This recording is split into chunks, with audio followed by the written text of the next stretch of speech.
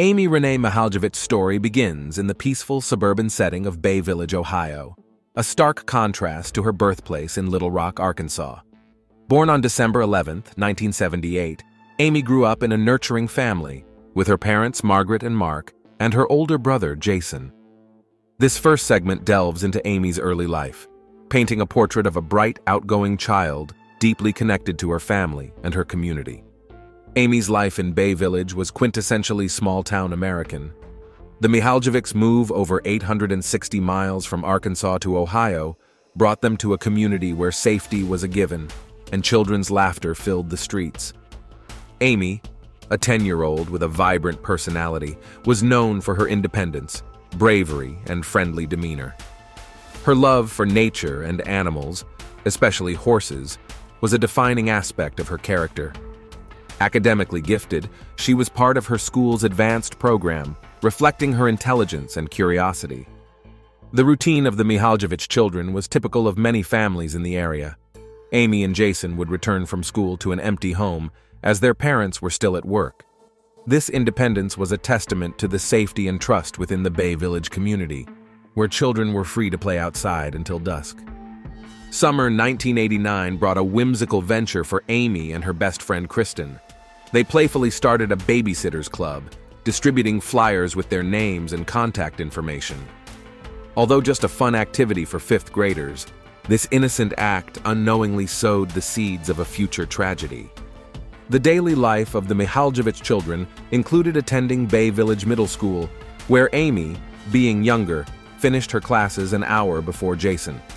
Their preference for biking over bus rides highlighted the small-town feel of Bay Village, where every destination was just a short ride away.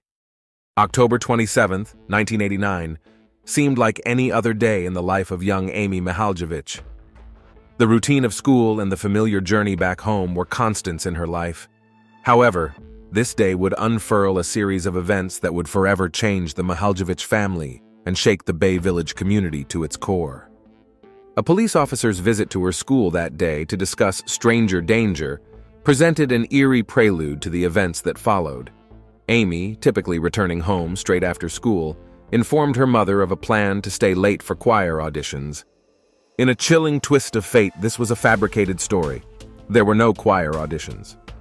Earlier in the week, Amy received a call from a man claiming to be a colleague of her mother's, stating that her mother had received a significant promotion. He sought Amy's help in choosing a celebratory gift, a request that required their meeting. This secret, the man insisted, must be kept from her mother. Consequently, Amy, along with her friends, headed to the Village Square shopping center after school. The proximity to her school led Amy to believe she could assist the man and return home before her parents' arrival. Unbeknownst to her, this decision would lead to an irreversible turn of events. Margaret Mihaljevic, in recounting the story later, expressed her diligent efforts in teaching her children about the dangers of strangers. Yet, in her desire to please her mother, Amy overlooked these teachings, setting a tragic sequence into motion. After her friends departed, Amy awaited the stranger's arrival near a light pole. Between 2.15 p.m. and 3.20 p.m., she was approached by the man from the phone call.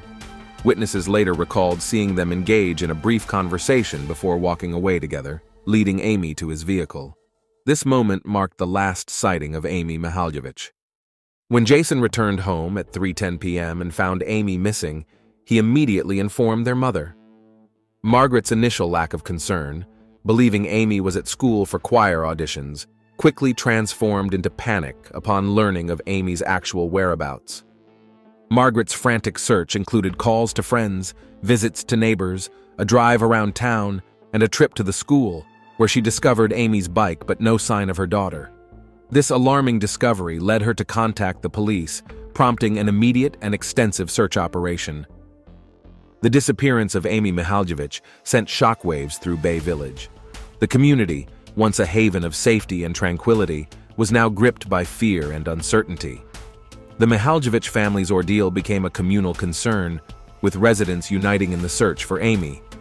The local police, joined by over 150 officers, launched a massive search operation.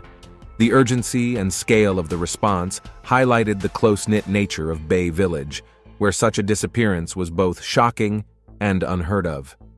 As news of Amy's disappearance spread, the community rallied together. Neighbors, friends, and even strangers joined the search efforts, combing through the town and its surroundings, clinging to hope. Amidst this turmoil, Amy's friends remembered her mentioning the mysterious phone call from a man planning to buy a gift for her mother. This critical piece of information, once relayed to Margaret and then to the police, became a pivotal lead in the investigation. Another breakthrough came when a second friend of Amy's came forward with a similar story about the phone call. This pattern led the police to focus on how Amy was first contacted by her abductor. However, the identity and whereabouts of the man remained a mystery. Witnesses at the shopping center provided descriptions of the man seen with Amy, albeit with variations. The conflicting accounts resulted in two different sketches of the suspect. The described individual was a white male, between 5 8 inches and 5 10 inches tall, with age estimates ranging from 25 to 45 years. Descriptions varied regarding his hair, with some noting balding and others differing on whether he wore glasses. The FBI's Behavioral Analysis Unit contributed by profiling the suspect, suggesting he was likely socially marginalized, lived alone, and frequently changed jobs.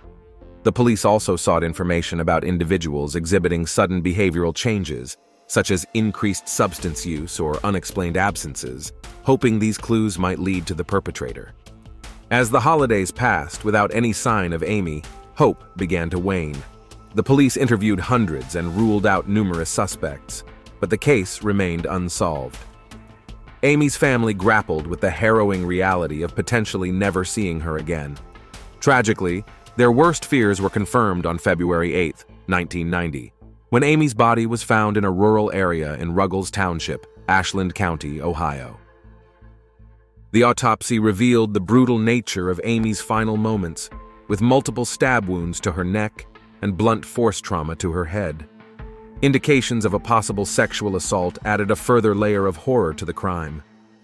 The killer's removal of several of Amy's personal items suggested a trophy-like behavior, a chilling hallmark of certain violent criminals. Near Amy's body, investigators found a dirty old green curtain and blanket containing her DNA and dog fur matching her family pet. Additionally, gold and tan fibers consistent with automotive carpeting from General Motors and tape with hair not matching Amy's DNA were discovered. Despite these clues, the lack of a hair follicle on the hair samples hindered DNA analysis through CODIS, leaving the police without a direct lead to a suspect.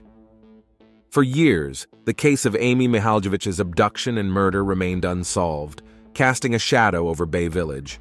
However, in 2006, a new piece of information emerged that reignited interest in the case. The police revealed that several other girls around Amy's age had received similar phone calls from an unidentified man, using a ruse about buying a gift for their mothers to lure them. All these girls, including Amy, had visited the Lake Erie Nature and Science Center, which logged children's names and phone numbers. This connection, however, hit a roadblock as the Freedom of Information Act did not apply to private foundations, preventing access to the visitor log. In 2014, the FBI announced a significant reward for information leading to the suspect, later increasing the amount in 2015. The hope was that financial incentive might encourage someone with crucial information to come forward. The case took a dramatic turn in 2019, on the 31st anniversary of finding Amy's body. A woman, choosing to remain anonymous, contacted the police with a potential lead. She implicated her ex-boyfriend, Dean Runkle, as a suspect in Amy's murder. The woman described Runkle's unusual behavior on the night of Amy's abduction and his connections to the area, including a niece in the same grade as Amy. Runkle's absence on the night of the abduction, his knowledge of the case before it hit the news, and his ownership of a gold-colored Oldsmobile, similar to the vehicle linked to the crime scene, raised suspicions. This new lead reinvigorated the investigation, providing a potential breakthrough in a case that had long haunted the community. As the police pursued this and other leads, the hope for justice for Amy and her family remained alive, a testament to the enduring commitment to solving this tragic mystery. The story of Amy Mihaljevic is more than a tale of a small town's loss. It's a narrative about the resilience of a community,